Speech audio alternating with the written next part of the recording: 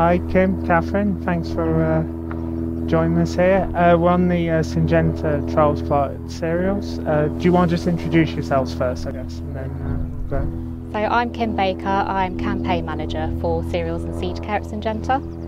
And I'm Kathryn Hamlen, um, technical manager for malting barley in the UK and Ireland at Syngenta. Perfect. And people coming over to cereals this year, what can they expect to see on the Syngenta trial plots? So on the Syngenta stand at cereals this year, we have a wide range of variety plots. So we have wheat varieties, we have our hybrid barley, and we also have our spring and winter malting barley varieties as well. Uh, we also have our rooting zone, and um, we also have our uh, beer that we've brewed especially for the event as well, which we're giving away. I guess starting with the uh, wheat, what new varieties are going to be on show this year?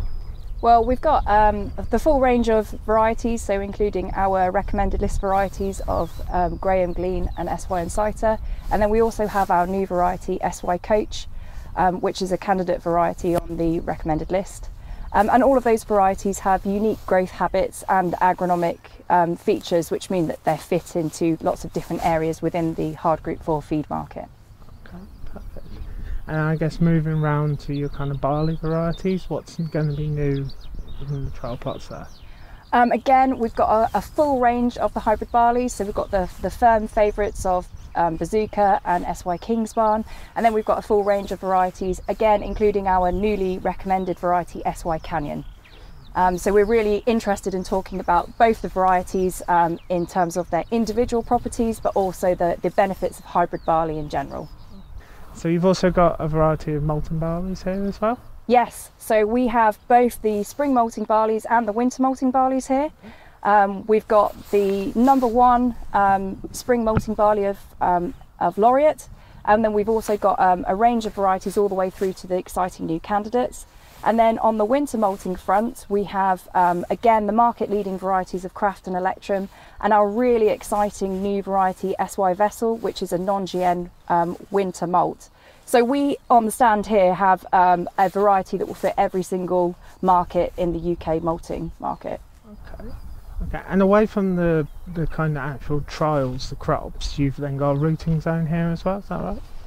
Yes, so our rooting zone uh, shows different interactions between crops, varieties and seed treatments uh, and looks at how, um, how rooting can help build a resilient crop with better access to nutrients and water.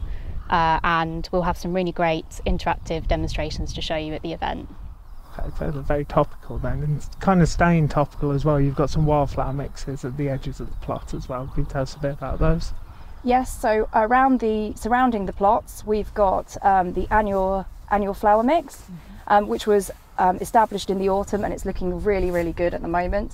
Um, and then um, we are planning to establish again three of the spring establishment mixes of the bees and seeds, um, and then the headland brassica and non-brassica mixes. Mm-hmm. And we'll also have the experts on stand to, to take you through all the, the pros and the, the benefits of, of these different um, mixes. Okay, perfect. And then there's uh, there really is something for everyone at the Syngenta stand. You're holding a beer competition, is that right? Yes, so we are currently running, running a uh, competition to name our beer, which we've had brewed especially for cereals, uh, and we are looking forward to announcing the winner uh, in the coming weeks. Um, the beer is brewed using our spring malting barley variety Laureate, um, and yeah, visitors can come along to the stand and claim the beer. So watch out for the name, watch, watch this space. Sounds